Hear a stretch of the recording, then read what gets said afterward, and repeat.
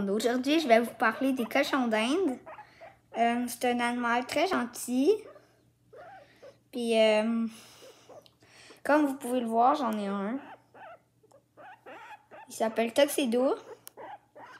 Bon, je vais vous parler de son attitude. Quand il vous mord, c'est pas fin. Alors, donnez, c'est sûrement parce que vous avez fait quelque chose qu'il n'aime pas. Et quand il claque des dents, il vous prévient. Alors faites attention à ça. Aussi, quand il couine, quand il beaucoup, c'est qu'il est stressé. Comme ça. Alors caressez-le pour qu'il soit moins stressé. Les cochons d'Inde mangent beaucoup de légumes. Il y en a qui n'aiment pas les fruits. Euh, dehors, si vous avez une cage, vous pouvez enlever le top, puis vous le mettez dans, votre, pelouse. Ensuite, vous fermez la cage. Faut qu'il fasse pas trop chaud ni trop froid, genre entre 20 et 25. Quand, quand vous avez fait ça, vous pouvez mettre de l'eau. Faites attention. Mettez-le où est-ce qu'il y a des trèfles, il va les manger. Les cochons d'Inde aussi aiment les gâteries. Ils aiment beaucoup les gâteries. Alors, vous pouvez vraiment leur en donner beaucoup.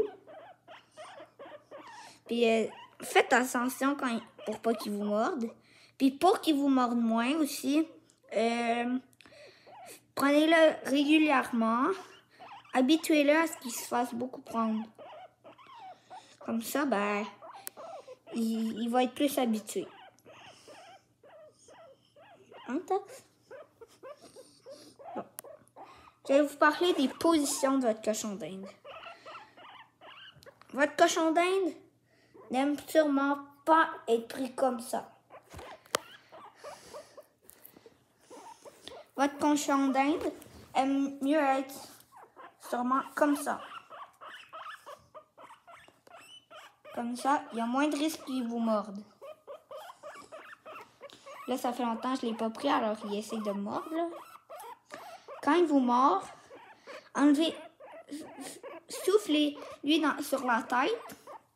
Ça, il n'aime pas ça, alors c'est comme si on lui donnait une punition.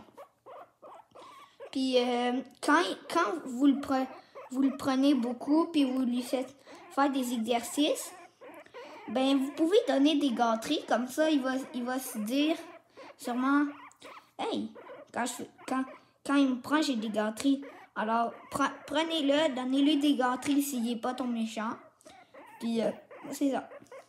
Euh, quand vous déposez votre cochon d'Inde, faites attention, pas qu'il shake trop des pattes, ça peut vous faire très mal.